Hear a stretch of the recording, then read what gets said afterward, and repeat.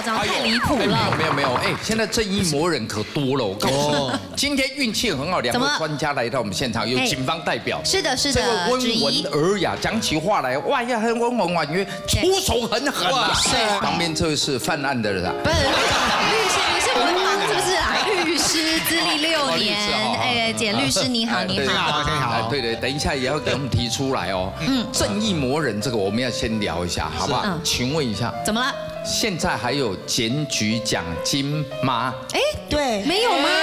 哎，很重要，很重要。嗯，怎么了现？现在的话，环保局的丢垃圾有检举奖金，还是有。哦，丢垃圾对交通嘞 OK，交通不能乱丢嘛。交通部分大部分是没有。丢垃圾有啦，还都是有，一般的这种道路交通检举、停红线啊、超车那种嗯都是没有奖金的啦。这样没有哦但是就是因为现在警察比较忙，所以其实限缩了很多检举的项目，很多都不能检举了。前一阵以前是有的嘛，最近才改的。呃，就是要把最近把它变少了对，可以检举的范围不要把。台湾变成一个秘密警察的一个地方。你被检举，通常都邻居，啊才看得到啊，就隔壁的人嘛。对。不对？啊。所以你看，那人情味就不来了，啊。是不是啊？人跟人啊，我们左邻右舍，哎，同一个对门哦，嗯，铁门对门，楼梯间上哦，哎，啪哦哦，对面我要出门先看看对面有没有动静，哎对，确认没来，赶快关门。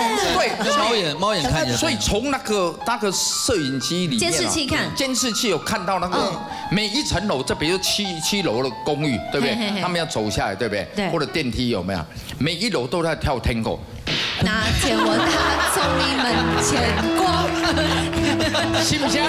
对信不信？掌声鼓励一下，对不对？鼓励什么啦？不是要鼓励今。天这几位他们是来澄清的，好吧？对，他们都这样觉得自己其实是对的，可是有没有可能听起来根本就正义魔人？来来音符来力，来来来来来来来个共车道口被违停车辆堵死，只能花钱另找停车位。我先说，我真的不是正义魔人。我看嘛呢，我家呢是在那个台中最大的夜市旁边，哦。所以每晚我们家外面那边都会有违停，它就会有。逢甲夜市，哎，不是，是那个太原夜市之前的更大间这样哦，然后那边呢就是整条就是呃，因为他们那附近夜市太难太太难停车了，所以一开始是单排的违停，后来变并排的违停，最后是把我们家的车道整个堵死了。哦。然后我那时候就想说，我就请那个主委说啊，不好意思，可以去问说能不能去画个红线呐、还是安排那什么三角锥，对不要让他们就真的停不能停对啊，不然我们要怎么停回家？是是是。然后但那时候他们也是说，哦，好像真的不方便呐、他们有去问，可是好像那个程序要走很久。嗯，那每天来的都不一样人，你对，刷不到。对对然后我们那时候就变成，因为它整个堵死了，然后我那时候就想说，我先啊，就我就会整稍微并排，然后我进去要找主委，请他们帮忙解决，我就被开单了。就邻居，邻居就是检举，他以为我可能也是那个违停的，哦然后我就被检举说违停，然后我那时候也是，然后停车也是因为停不下去，然后我最后居然要停到一个离我家走路要半小时的停车场，Oh 我家只有真的蛮值得生气。很让人家生气。然后我后来真的受不了了，我就觉得说，天哪，不行，我这样不能一天到晚都为了这些车，然后我自己回不了家，我就请警察来，总该可以让我回家吧。结果警察跟我说，没办法脱掉，只能开单，不能脱掉，我还是回不了家。脱掉，脱掉，脱掉，脱掉。我跟你讲，找大伟的律师，大伟，大伟这边，这里有一个简大伟，简大伟金大尾。短我讲一，下为什么音符它会被检举呢？嗯。好，因为我们现在可以拍照，对不对？嗯对。可是红线不能拍照检举，可是并排停车可以拍照检举，所以你那时候大概红线不能拍照检举，现在不行现在红线能干嘛？可以打电话叫警察来开单，光是要处理那个东西拍照检举的就已经忙不完了，所以他们现在是禁止的。不给你而且红线检举的警察，两部机车是检举的，好。一部是巡逻的。哦，有分专业吧不一样。OK 你是常常啊，他经常常常违规。吧？没有，其实比较好的方法还是一样，因为违规停车两小时可以重复检举一次，是所以其实我们就是多一点时间，请主委吧常常打电话，让它变成一个检举热点。那或者是比较有，因为刚刚有讲到为什么为什么不脱掉嘛？对因为其实依据各县市的这个处理原则，好脱掉的原则，巷弄内原则不脱。对对对因为因为您在为什么你在巷弄里面哦，你脱掉反而造成交交通通堵堵塞，对所以这就是为什什么你们他可能有拒绝你去拖的原因呢？如果今天他没有红线的话，其实要脱掉确实比较难，因为警方在执法的时候，他的采法依据还是会以红线为充分的准则。不过，我觉得音符最大的问题是他们家前面没有红线，那要怎么样才可以有红线？自己画，不行吧？自己来有，自己回来。警方也会，对，综艺摔，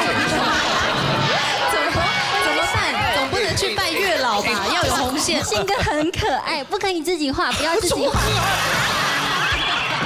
不能自己画。要找里长去会同交通局去会看，说，哎，我们确实有这个必要去画设红线。如果真的有长期的这样困扰，是可以去做一个这样的协调。不过，我们就算呃进行举发没有脱掉，可是你我们派出所同样也会用车籍的系统去查询车主的电话联络离开。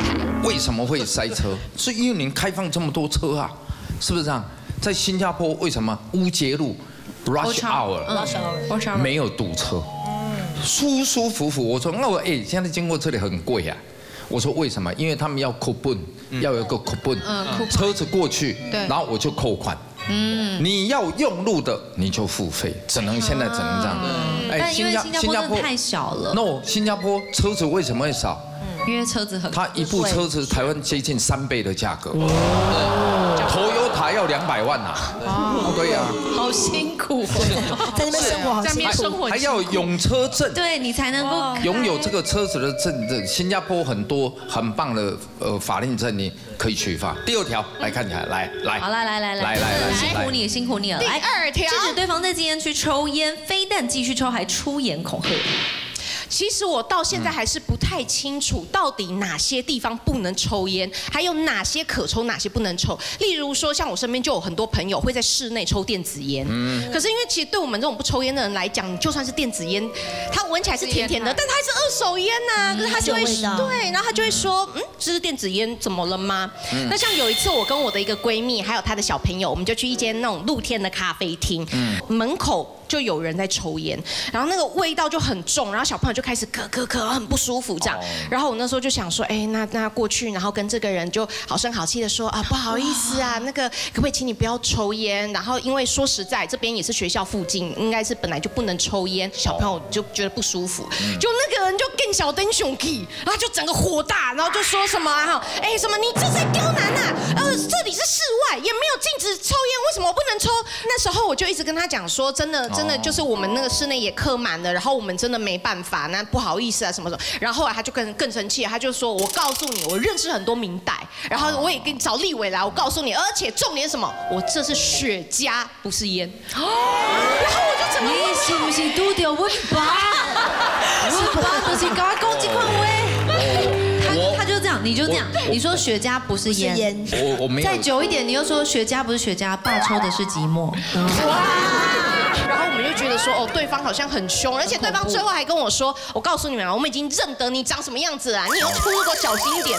我想说，现在在恐吓吗？重点还在于这个地方能不能抽，对不对？呃，应该先先讲了，雪茄是烟，好，在定义上，电子烟也是烟，哦，而且不点燃用嚼烟草也算抽烟，嚼烟草也算。这个这个比较奇怪。那至于说禁烟区的部分，学校围墙外十公尺内不能抽。对呀，那个有规定。那如果有贴那张 No Smoking，哎，也不能抽。嗯，对。那室内也几乎都不能抽，美术馆、体育馆的外面也不能抽。可是像刚刚你讲，那可能是骑楼吧，只能说就劝导啦，没有办法去进行开发。那不过后面他说要你出入小溪这点，这个。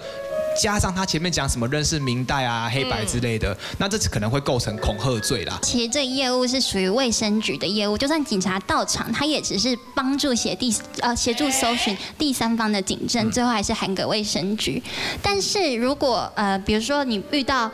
类似恐吓的行为，那很多台湾人就是也是胆子也很大，说被被威胁，就说喝啊喝啊来啊来啊，不谁谁会怕谁？哦，拓毒这样啊？对，但这种会建议不要回情绪性的字眼，因为你到了法庭上，因为恐吓罪要让人家心有一个构成要件是心生畏惧，法官可能会觉得你还可以回嘴，可能你就没有构成心生畏惧的要件，会让你回嘴就不算，装弱，假装很害怕这样。哦，你这样教人家也不太